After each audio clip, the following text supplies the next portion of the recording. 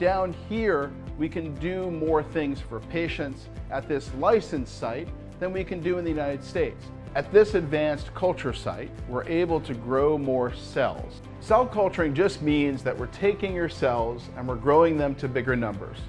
By growing them to bigger numbers, we give ourselves just more cells and a higher dose to work with.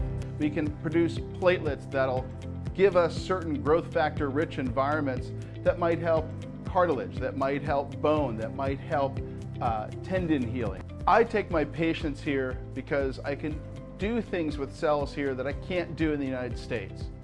And I don't want to be limited, meaning that all physicians that do this kind of work in the United States are limited in what they can do and what they can offer. Their hands are tied. So I want that ability to take my patients to a place where I can get everything done that needs to be done.